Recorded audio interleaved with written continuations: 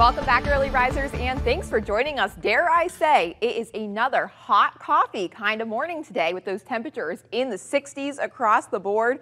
Not as cool as yesterday morning, thanks to our winds, but overall still a nice, cool, mild start to our day. 67 degrees in Fort Myers right now, 67 in Englewood, 65 in LaBelle, 65 in Ave Maria. If you slept in yesterday morning, we did wake up to temperatures in the 50s in some spots. You see today, we're not seeing any 50s on this map, but it is still feeling nice with those temperatures in the 60s and overall a nice day is on tap for us here in Southwest Florida.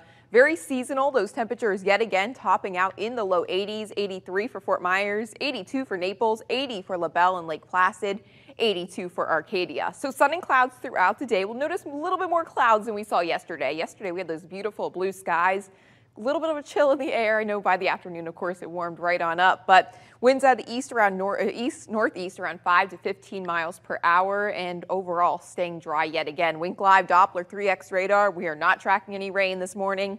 Not expecting to either. I know Liz mentioned earlier, maybe a good morning to open up those sliding glass doors, let that cooler air in while we have it, of course, because we know how quickly we warm up here in Southwest Florida. Future track shows we have that east-northeasterly flow as we go throughout the afternoon, just some passing clouds overall. A very nice afternoon if you have any outdoor plans. Of course, we have that Fort Myers Boat Show still going on today and plenty other events, of course, across Southwest Florida. A look inside our forecast as we go throughout the next couple days, we are going to start to see a pattern change in our weather. High pressure is in control of our forecast right now. That's why we're staying nice and dry. That's why we're seeing lots of sunshine. But over here is a cold front that will be ushering its way towards us in quite a strong cold front. This right here is moisture from what will be the remnants of Tropical Storm Sara. That will usher its way towards us. So between that frontal system and between those remnants of Sara, we'll have a good amount of rainfall come Wednesday. So Wednesday is our day where we can expect to see some of that rain. Once that cold front passes to the south, it'll take those showers with it, drier, less humid air in time for Thursday and Friday. And look at these dew points. You see today, tomorrow, and into Tuesday, pleasant dew points. It doesn't feel all that bad stepping outside the door. Wednesday, we're back in the humid category. We have those tropical rains working their way through our area. That cold front ushers through, and then look at our dew points by the end of the week. We'll be seeing much drier air with those dew points in the 40s. So as far as your 7 to 10 day forecast goes, 83 for today, sun and clouds. That rain comes on Wednesday, and then look at our highs by the end of the week. We're talking about the low to mid 70s for those highs. Thank you, Lauren. I'm looking Welcome back and thanks for joining us. Meteorologist Lauren Kreidler here with you and we're taking a live look over that Fort Myers riverfront camera. Look at all these boats over here for that Fort Myers boat show that's going on this weekend. Overall, great weather for that. Great weather for anything you have planned across Southwest Florida as we're seeing blue skies overhead and those temperatures gradually warming up. We're a little bit warmer than we were at this point yesterday morning, but still those temperatures in the 70s aside from our friends in Ave Maria showing off there 80 degrees already.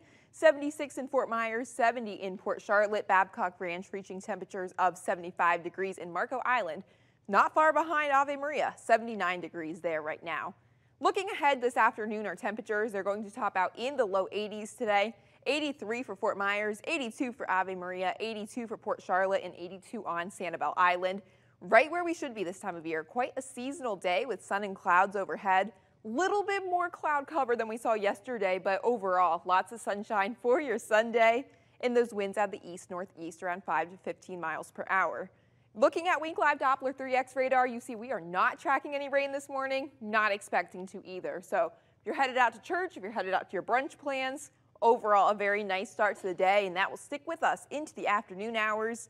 Sun and clouds overhead, and then even as we go through this evening, just some passing clouds and those temperatures in the 70s.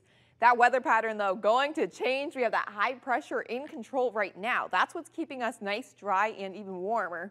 But then by midweek, we're going to be tracking this right here. That is a strong cold front that will be ushering its way towards us and pushing this, which is a good amount of tropical moisture in association with the remnants of Tropical Storm Sara. That will eventually work its way towards us here in Southwest Florida by Wednesday. And you can see a good amount of rainfall ahead of that cold front.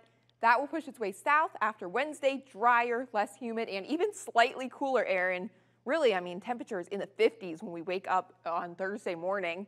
Dew points showing that over the next couple days, it'll feel comfortable, but you'll see those dew points climbing.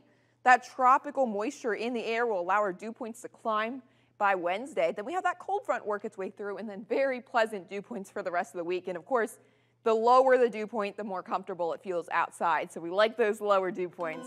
As far as your 7 to 10 day forecast though, putting this all together, 83 degrees for today, 85 for tomorrow. Chance for rain comes on Wednesday with those rain and storms associated with that frontal system. Then look at our high temperatures by the end of the week. Uh, chilly for Southwest Florida standards, mid 70s for those highs. Thank you all.